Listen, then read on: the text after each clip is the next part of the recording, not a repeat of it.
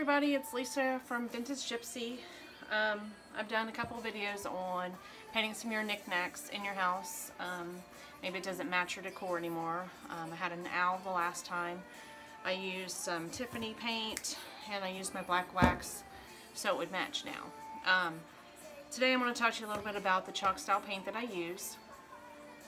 Um, it's called Heirloom Traditions.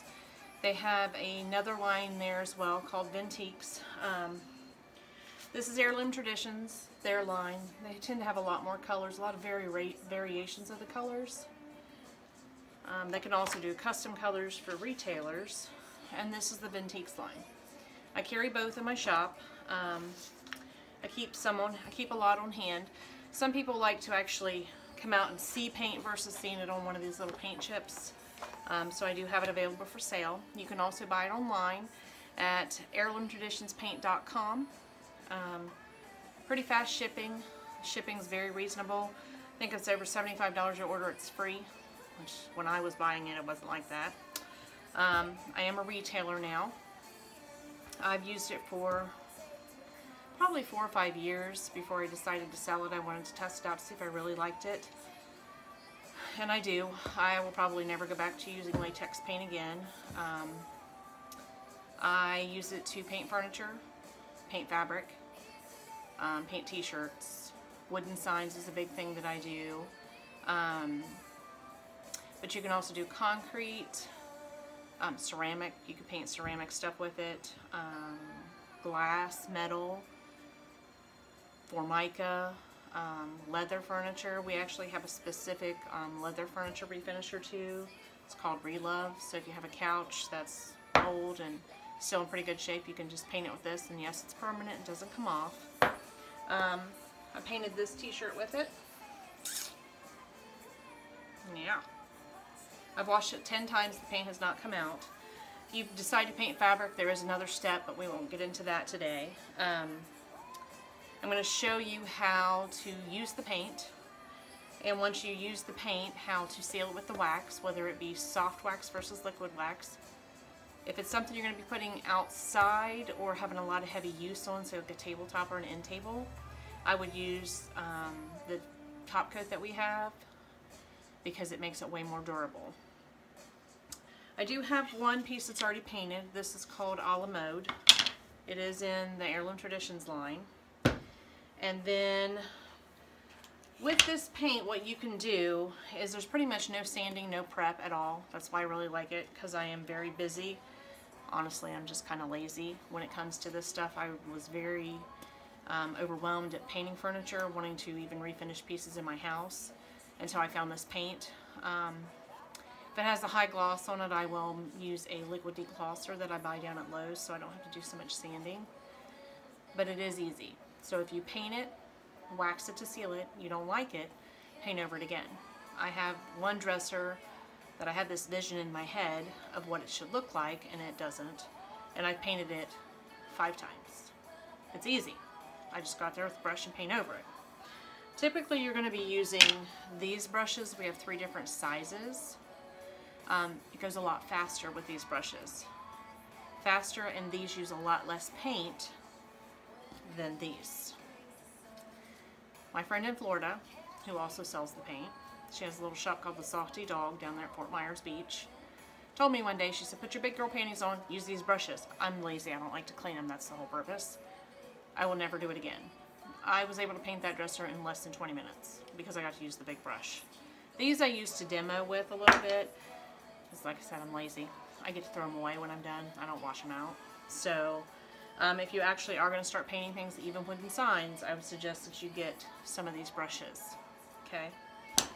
Um, in order to apply the paint, it's very easy. Never open up your container and dip your brush into it. Um, it will, you can cause contamination. Some people can do it and get away with it. I'm not one of those people. I'm not that lucky. Okay. So in order to paint, I usually, I usually look like this. I just pour a little bit on my um, famous paint tray. Then when you paint over it, you can go stroke-wise like this if you like to see stroke marks. Some people don't. I don't mind them so much because the wax picks up so a lot of that detail, but if you want that smooth finish, we use something called stippling. Remember years ago when we were big stencilers, you know, I used to have apples all over my kitchen. You stipple it. When you stipple it, it causes the paint to lay flat and you also get better coverage this way. So a lot of times people use chalk style paint and they brush over it like this and it takes two or three coats. You stipple it tends to cover very quickly. So see you can see I'm covering over that Tiffany with a lighter color and it's going over pretty well. So that's basically how you apply the paint, okay? Typically dries 15-20 minutes depending on the humidity, how hot it is. Um, if you're out in the sun, it's going to dry a lot faster, so just remember that. Same way with the wax, too. This piece I've already painted. Um, I usually go down to Lowe's, and I will get these little detail boards to practice with, which is a good thing to start doing if you want to start painting some of your furniture. That way you can play with the waxes and the colors and see what you like versus what you don't like. So here's my piece. Now with this paint, you can paint it, say if you're going to paint a piece of furniture, and you let it dry about 20 minutes. It's not fully 100% dry until it's back to room temperature. So when I touch this piece, I just painted it a little bit ago, it's still very cold because it is water-based. So there's still a lot of water in there. So you can go ahead and wax it and do all that stuff with it, but to let it cure with soft wax, I give it a couple days. If it's something that you really want to paint in your house, I will usually paint it and wait a day or so to wax it to make sure it's fully dry depending on the weather like in the wintertime here in Ohio it dries a lot slower versus being in Florida. Now I've shown you black wax. We have all kinds of soft waxes. We also have this fancy product that's a liquid wax which is really great. It's a huge time saver. Basically you just paint it on and wipe it off. I usually will pour this in a bowl versus spraying it because it tends to clog the sprayer a little bit. I put it in a plate, take one of these little brushes, wipe it on and wipe it off. It's very easy to do. Let me see if I can. So see I take it off. And I'm going to pour it in something. My smiley mug. I'm going to take this brush, dip it down in there. It's pretty watery. And I'm going to wipe it on. So that's basically using your liquid wax. Now you're going to make sure you need to have some of these rags on hand and you wipe it off and you're done. This will cure almost instantly when it's done. Soft wax takes a couple days to cure. Soft wax you can also blend a lot more. So, if I want to use my black, this what I used on here is antique brown. That's the Vintiques line. So a lot of people like that rustic, you know, primitive look. They paint it white and then they put brown over it. That's exactly what you'll get. Okay. It also comes in a soft wax, okay? So we're going to use this, the wrong lid on it. I'm going to use black wax because it's my favorite. You take your brush, you work it in there whether you're using this brush or this brush. And I'm going to go to the next section. This is the best way to test a piece of furniture, what it's going to look like when it's done. So we're going to use just strictly one color of paint and I'm going to use different waxes. When you're waxing, if your product or your piece has a lot of detail in it, take your brush and work it down in there. And it's just like the Karate Kid movie. You wax on, wax off. So we have antique brown and black. So we still have just one color of paint, three different colors. Okay. We even have a blue wax. We have like 13 different colored waxes, which is awesome. But then we just have the standard clear wax because a lot of people just want to paint over the paint and show the vibrancy of the paint. You can mix these waxes on top of each other. So I could mix, you can see how the brown and the black has faded in together. If you're ever afraid that you've put too much of the dark waxes on, just simply go over it with your clear wax and it'll pull some of that back off. So don't ever be afraid of using the colored waxes. We also have a really cool gray one. And this new one that I have, they've had it for a while, but I've just started playing with it, is rusted metal. And you can actually use it on some of the paint colors and it'll truly look like rusted metal. So here's one of our, actually our fancy brushes. So see how much easier it is to get wax on that versus doing this. That wastes a lot of my wax. I use this little thing. I just dip it like that. This is rusted metal. And it's actually a smoother um, feel when you put it on. Like when I go to put this down in there, I don't have to work as hard to get it in the creases. And there's rusted metal. So you can see you can have one paint color, and you can actually have 13 different colors or variations of it depending on the color wax that you use. Okay? Now that will cure, the soft wax will, in about mm, 24 to 48 hours, which means don't touch it. Don't wipe it off with chemicals or anything like that. Just let it sit there for a while.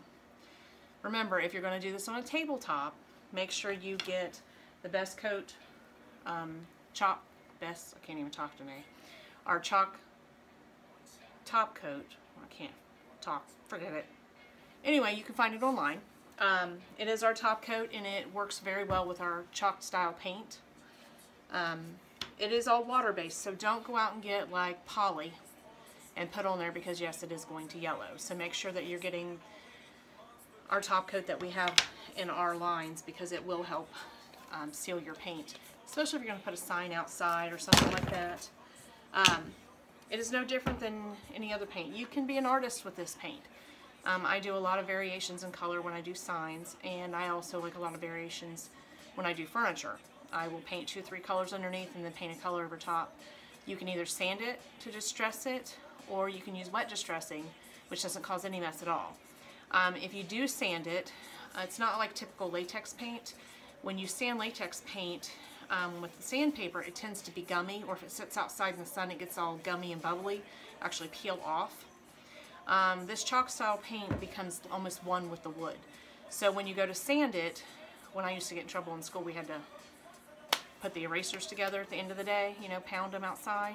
That's the same type of dust that comes off of this. So you could do this sitting in your living room if you want to wet distress it. Do it in a basement, you know, that way it doesn't cause that much of a mess. There's no fumes to it. Um, it's very workable. It's very forgiving paint. Like I said, if you mess it up, you don't like it, just paint right over it. It's not a big deal. You don't freak out with this paint. It's very easy to use. It's very user-friendly. It's, it's, truly very forgiving paint. Um, now, what you're thinking is, oh, I'm going to run to Lowe's. I'm going to run to the Home Depot. I'm going to run to Walmart or Hobby Lobby or any of those other chain stores, and I'm going to get me some chalk paint. It is not chalk style paint. Most of that, that if you can go anywhere and have it mixed or it's sitting out on their shelves, like my local Lowe's has it, don't yell at me Lowe's, um, it is, they list it as chalk paint. If you read it, it's a flat or matte paint. It is still latex based. This is not latex based, okay? This is actually made from organic, organic compounds. Um, so it's a much better choice. It's non-toxic paint, so you don't have to worry about it like my puppy's out here all the time with me. And I don't ever have to worry about her getting into the paint and getting hurt with it. Because um, sometimes she walks around with it on her nose. Because she's nosy and sticks it on whatever I'm painting at the time. Um, so, remember, if you want to order it, you can either come out to the store. I am out in Hillsboro. You can also get a hold of me on Facebook. Um, I do live in Ohio. But if you want to order some online, you're welcome to. They ship it right to your door, like I said. It's heirloomtraditionspaint.com. Use all capital letters, Vintage Gypsy, um, at checkout and it'll give you 10% off your order. You're welcome to get a hold of me on Facebook if you have questions about it. I also offer um, chalk style painting workshops. We do furniture workshops. We do wood sign workshops. Um, different kind of craft workshops. The only paint I use is this brand of paint. I don't use any other paint. Um, I educate people on the type of paint and the difference that it is versus using acrylic paint. This also does not peel. For the sign makers that are out there and they have trouble with using, you know, the little bottles of paint that you can buy in the craft section, um, I had that experience with that and what they did when it would dry, it was peeled off like Elmer's glue does when it's all dry. So I switched over to chalk style paint and I have never looked back. I do have a website. It's vintagegypsy73.com and I also have a business page on Facebook if you need to get a hold of me. It's also where I'm going to be posting the videos. Um, it is just Vintage Gypsy on Facebook, so you can reach me that way. If you have any questions at all about this, just message me or get a hold of me. I'll try to get back to you as soon as I can. Depends on how busy I am, but I typically do go back and answer my messages. Or you can comment on this video and I will get it. Um, Any questions at all? Do not be afraid to take this paint and tackle painting something. I suggest start small, get your little knick-knack out of your house. Some people call them tchotchkes, which sounds really cool. Um, start with a little, a little sign and a stencil and go from there. Um, and, and see how you like it. I, like I said, will never go back. You cannot convince me to use any other paint. So, I hope you guys have a good night. I hope you've learned a little something today. If you haven't, I'm sorry. I'll try to do another video in a week or so. Maybe we'll talk a little bit more about um, different waxes maybe, or I'll do um, maybe another piece out of my house that I'm redoing. Um, I have a picture frame that I would like to redo. Um, it doesn't match right now. It's too light of a teal. So I'd like to switch that out. So um, you guys have a nice night. I will talk to you later. Bye-bye.